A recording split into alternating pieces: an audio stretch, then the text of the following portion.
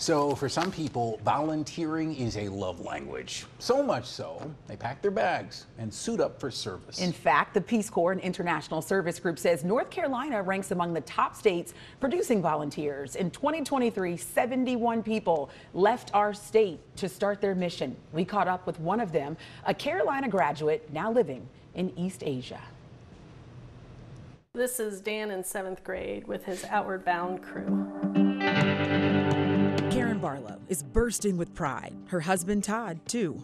The Barlows reliving their son's younger days through pictures. I, I try not to be too proud, but I'm proud of him, you know.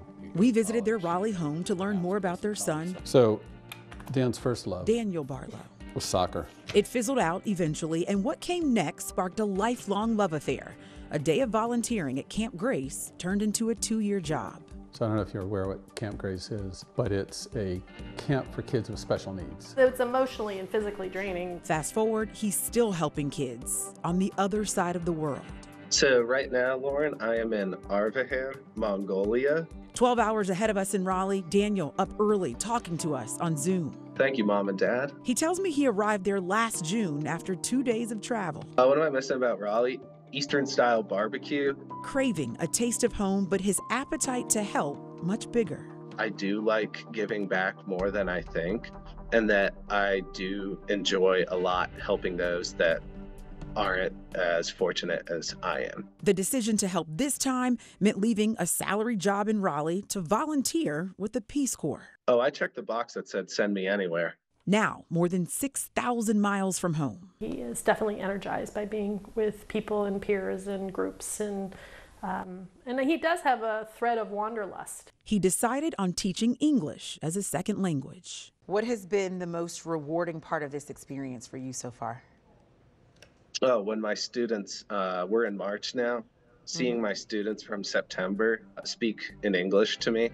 Um, we go from no English to at least a little bit of a conversation. Words, phrases, sentences. For Daniel, it's a love language of giving back. Treating people well, making sure that you care about your surroundings and how other people are doing. That was just the way I was raised. Nine months in, Daniel has zero regrets and has these wise words for anyone thinking of doing something, anything. That you should at least try it because trying and failing is, in my opinion, a lot better than regret.